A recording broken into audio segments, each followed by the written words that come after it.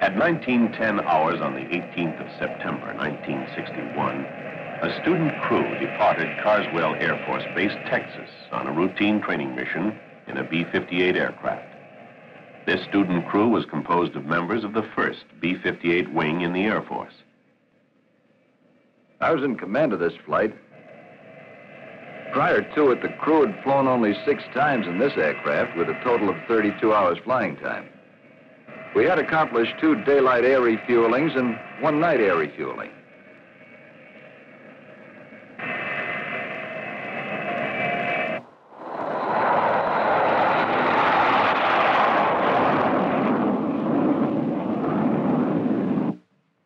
During the takeoff, I noticed an orange glow behind the aircraft, but thought nothing of it. The navigator, however, reported fire, which was confirmed by the defense systems operator. I immediately attempted to raise the gear and then contacted the tower to request instruction. The tower indicated that a chase aircraft was being launched to inspect the damage.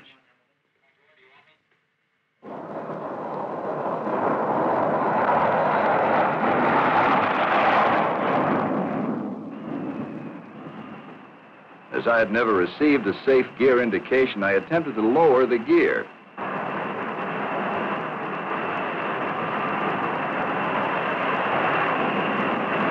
Time the pilot rendezvoused successfully and contacted me, the flame was out. The landing gear indicated down and locked. He said he was coming in close to get a look at the landing gear.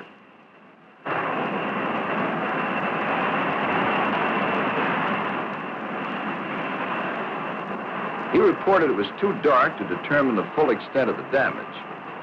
They suggested that I fly over the city of Fort Worth so the lights below would help give him a better view.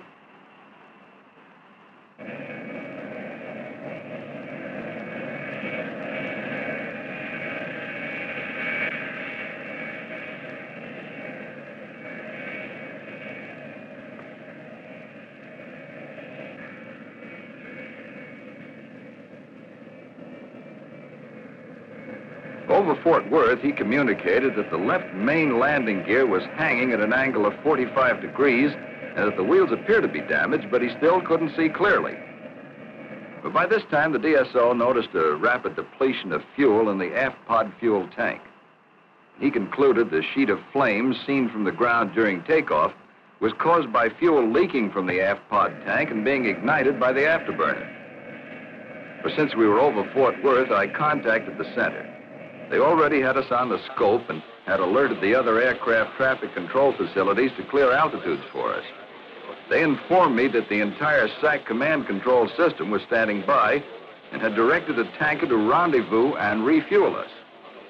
As there was some doubt that contact with the tanker could be established, we were told to prepare for a crash landing.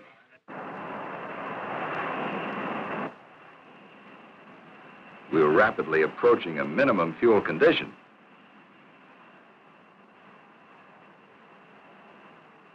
Contact was finally made with the tanker. Now, troubles were not over, however. The nose-high attitude of our B-58 with landing gear extended made refueling doubtful.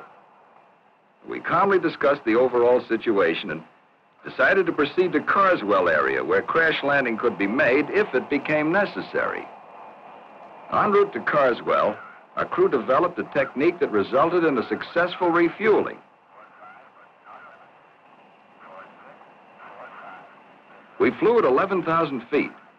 I used the outboard engines at maximum afterburner to maintain speed and the inboard engines for directional control. After communication with Carswell, the decision was made to continue refueling throughout the night and to go to Edwards in the morning, where there would be more favorable conditions for landing as well as a bombing range for jettisoning the pod. We refueled eight times with landing gear extended. By morning, one-third million pounds of fuel was transferred from seven different tankers.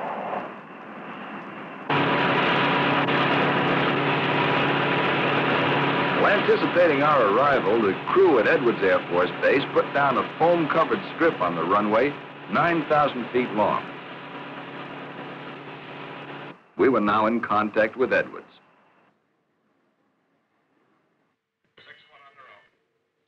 A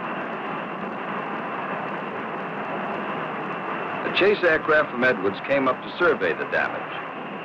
The first close examination of the main landing gear by daylight revealed three of the eight wheels to be intact, two hanging from the scissors assembly, and three completely missing. The axle and landing gear positioning springs were both broken.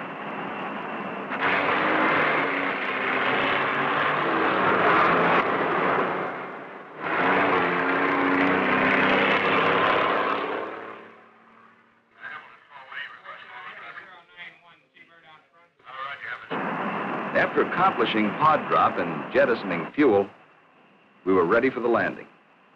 I was instructed to land the aircraft with nose gear just to the right of the narrow strip of foam so the damaged gear would be in the foam, allowing for better control of the aircraft under the existing emergency.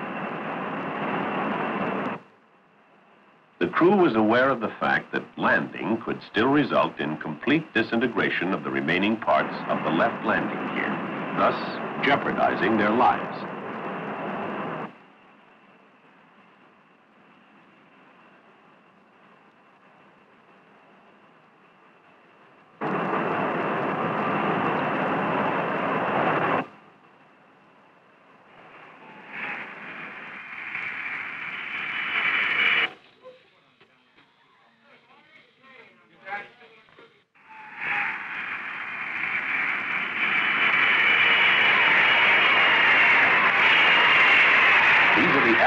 Films taken at Edwards Air Force Base as the crew commander brought the crippled B-58 in for a perfect landing after 14 hours in the air.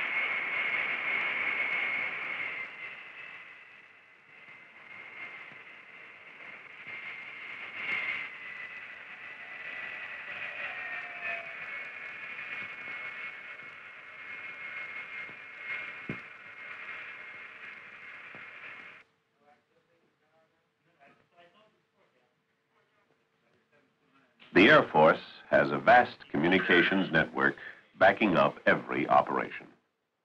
This frequently results in the saving of a great number of lives and millions of dollars of equipment. At 1910 hours on the 18th of September, 1961, a student crew departed Carswell Air Force Base, Texas, on a routine training mission in a B-58 aircraft. This student crew was composed of members of the 1st B-58 wing in the Air Force. I was in command of this flight. Prior to it, the crew had flown only six times in this aircraft with a total of 32 hours flying time. We had accomplished two daylight air refuelings and one night air refueling.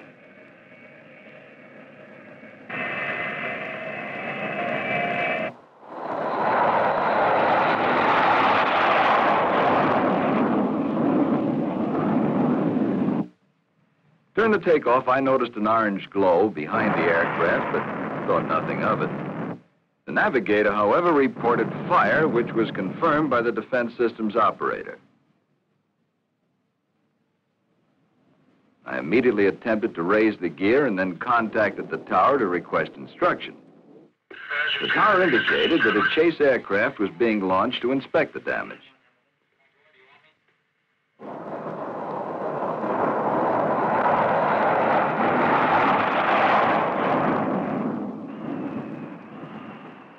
As I had never received a safe gear indication, I attempted to lower the gear.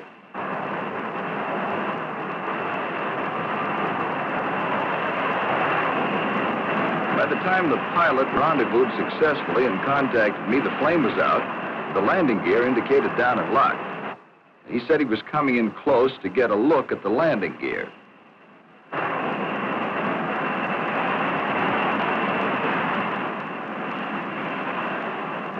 He reported it was too dark to determine the full extent of the damage. They suggested that I fly over the city of Fort Worth so the lights below would help give him a better view.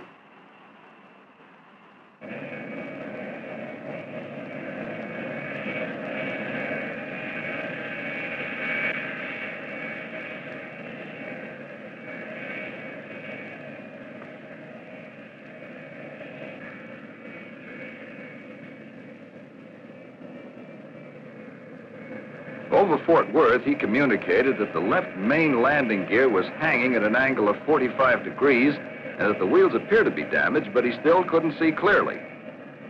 But by this time, the DSO noticed a rapid depletion of fuel in the aft pod fuel tank. He concluded the sheet of flames seen from the ground during takeoff was caused by fuel leaking from the aft pod tank and being ignited by the afterburner. But since we were over Fort Worth, I contacted the center. They already had us on the scope and had alerted the other aircraft traffic control facilities to clear altitudes for us. They informed me that the entire SAC command control system was standing by and had directed the tanker to rendezvous and refuel us.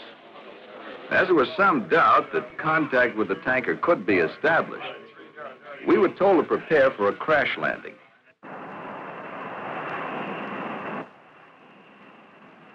We were rapidly approaching a minimum fuel condition.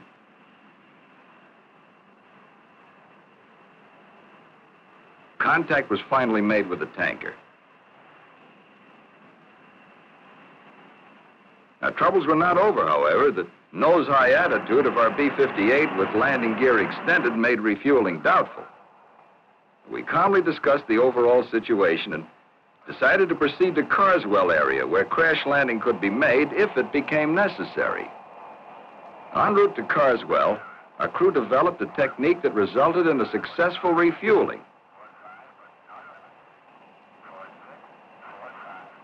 We flew at 11,000 feet. I used the outboard engines at maximum afterburner to maintain speed and the inboard engines for directional control. After communication with Carswell, the decision was made to continue refueling throughout the night and to go to Edwards in the morning, where there would be more favorable conditions for landing as well as a bombing range for jettisoning the pod. We refueled eight times with landing gear extended. By morning, one-third million pounds of fuel was transferred from seven different tankers.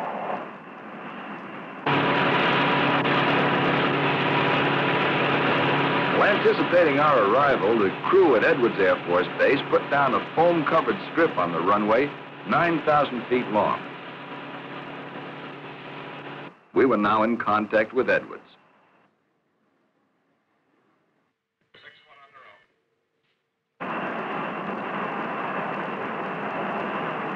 The Chase aircraft from Edwards came up to survey the damage. The first close examination of the main landing gear by daylight revealed three of the eight wheels to be intact, two hanging from the scissors assembly, and three completely